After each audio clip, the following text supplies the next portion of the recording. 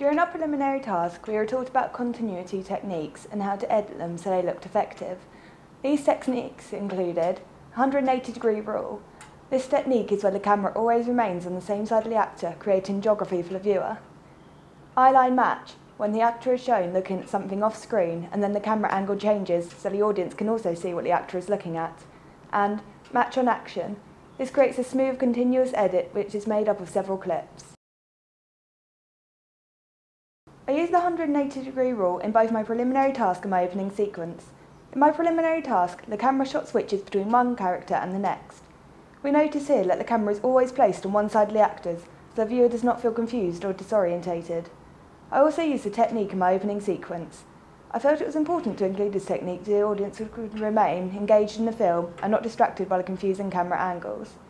Even though Rose is shown looking at her dress, the camera remains on the same side of her throughout the movement back to her seat and then stays on her right for the rest of the film.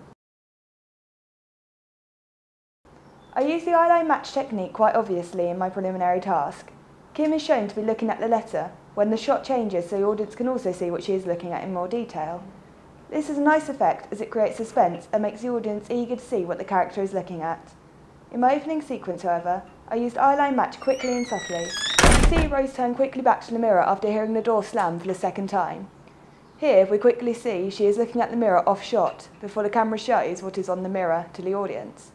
I like how this works as it created suspense and anticipation for the viewer in a short space of time.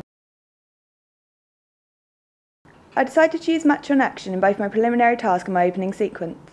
In my preliminary task, it was used to show Kim walking down the corridor and around the corner.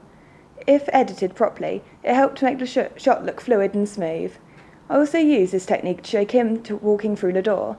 It shows this shot from two angles, one outside the door and one inside as she steps through. It begins to make the shot look more interesting to watch.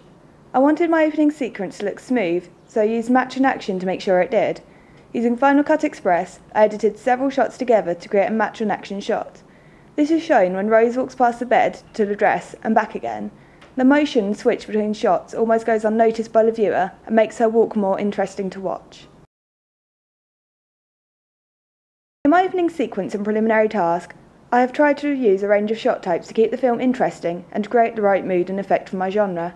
I have used many shot types including close-ups, pans, and medium shots. In my preliminary task, I learned a lot, not just about continuity editing, but also about shot types and how to experiment with them to make them look good and effective and smooth. In my preliminary task, I used a series of close-ups, such as when Kim walked towards the camera and we saw a close-up of her feet, and also when the letter was shown on screen. I used close-ups to grab the viewer's attention and almost force them to focus their attention on a certain object I wanted them to remember throughout the film. In my, in my opening sequence, I chose a close-up for effect.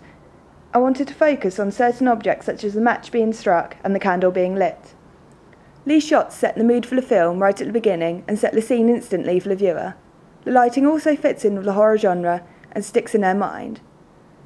I used close-ups to also get the mise-en-scene for my opening sequence, as the dark lighting made it look spooky and eerie.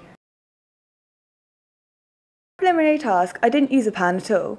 I wasn't very confident with the of different shot types, so chose not to venture too far. Although, when I researched the horror genre, establishing shots which pan downwards on the location of the film seemed very popular. A good example of this would be The Ring, we see an establishing shot of location at the very start of the film. I took inspiration from the ring and decided an establishing shot of my location at night would look most effective, as the darkness, mixed with rain and thunder, would create a great deal of tension. In my preliminary task, I use medium shots to mainly show movement of the character around the room. I use medium shots because when it came to continuity editing, such techniques as match on action, it would look more professional and smooth. A good example is when Kim is walking across the room to sit down. I also used this in my opening sequence when my character moved around location. I also used medium shots in both to focus on certain objects, which I felt were important, but not as important as others. I feel throughout this task I have learned a lot about media, in which I didn't know before. Coming into media at A level after having little to no experience of it before is one thing, but having to learn about all the software and all the techniques were quite another. I feel I've gained camera work skills, before the, prelimin- before the preliminary task, I hadn't ever really used a video camera to create a short movie. I feel, although I have developed my camera skills vastly from when I did my preliminary task to my opening sequence. I also now have gained skills in editing. I learnt quickly how to use software such as Final Cut Express and GarageBand. With the skills gained from using these two pieces of software, I developed an opening sequence agreeably better than my preliminary task. You can see that the steadiness of the camera work has changed from my preliminary task, where it was unsteady, to my opening sequence where it was still and straight. I also feel that my continuity editing has improved. I think my general knowledge all round has improved. I really didn't know a lot about media before, but now camera angles and continuity editing make sense to me, and I feel I have used them and developed them during the whole coursework process.